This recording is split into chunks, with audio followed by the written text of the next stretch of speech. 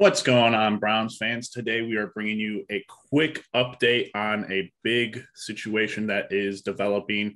Um, today we'd usually be bringing you some Cavs news, but today I'm going to let Jeff handle the intro to this one because this is his guy, this is mm-hmm. his player, and so I'm going to handle this uh, this intro. Yeah, what's up, guys? I think this is pretty funny because if you have been on Twitter, if you did watch the Cincinnati game, Wyatt Teller comes across, pulls on this massive diving block for the Nick Chubb 70 yard run. And Andrew Berry said, That's all I need to see.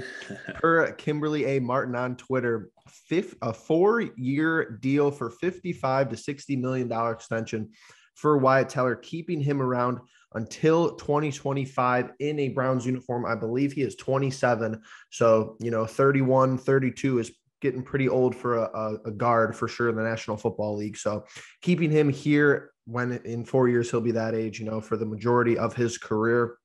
$28 million in guarantees, which it sounds like is high for a lineman. With the cap space going up, it's interesting, but you see, yeah. you know, Brandon Scherff is on a one year deal for $18 million. Brandon Brooks is making 14 million. Zack Martin is making 14 million. So with the 50 million or the 60 million at the top, that's only 15 million a year for mm-hmm. Wyatt Teller. I think it's a great move. And like you said, Justin, one of my favorite players. Yeah, absolutely. And I think it's great. Obviously, he's been fantastic since we brought Bill Callahan in. And, um, you know, it was very weird because, you know, last year he was kind of an unknown quantity coming in. Uh, mm-hmm. The year before that, we struggled with the offensive line. He was a part of the team and didn't really have a role. That was the Freddie Kitchens year. And, you know, we brought Kevin Stefanski in, we brought Bill Callahan in, and he has been you know, when he's healthy, he has been probably, you know, right next to Joel Bitonio in my mind, has been the best offensive player um, the most consistent offensive player along with you know another guy that got signed a contract this year nick chubb which seems to be the um, you know the mentality of andrew berry kind of you know paying out the guys that have been consistently good and mm-hmm. you know getting them for you know not top dollar but for you know right around you know a team team friendly kind of top dollar deal which i think has been fantastic obviously uh, four years, 15 million is great. When you, you know, compare to the rest of the offensive line, obviously, um, Joel, you know, he signed his deal as a six year and was way earlier on when the cap was much lower. So um, there's that. But the Conklin deal obviously was three years, 42. I think that's the next closest, which is almost like 14 million a year, mm-hmm. I believe. Mm-hmm. Um, so uh, honestly, pretty good money. Um, you know, we did get rid of OBJ, which, you know, um, there will be money uh, saved there for in the future, which I believe is probably is going to go to Wyatt Teller at this point. And uh, very interesting. Uh, and, you know, it's it's great that they're get, kind of getting that core set for the future.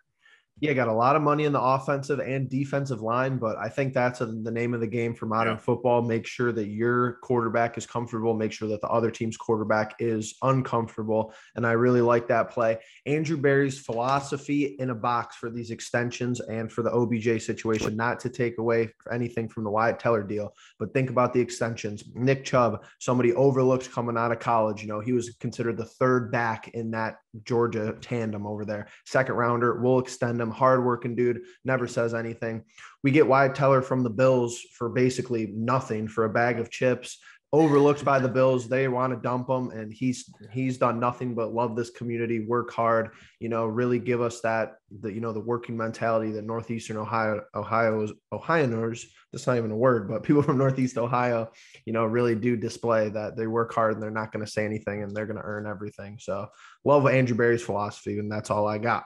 Yeah, I mean, he did a great job, and you know, these are all for the most part guys that we're talking about extensions wise uh, are John Dorsey guys that were brought in, but uh, he has done a great job to just mend that fence and make it, you know, Cleveland Browns guys instead. So love everything that we got here. Um, we will keep you guys updated if anything changes. If anyone else gets a contract extension, don't think that'll be happening for a while, but great stuff to have Wyatt here for the next couple years. So, with that being said, if you guys made through this video, thank you for watching. If you haven't already, please subscribe, hit the bell notification, leave a like on the video, leave a comment on your thoughts for the contract extension, Wyatt Teller in general. And with that being said, we'll catch you in the next one. Peace.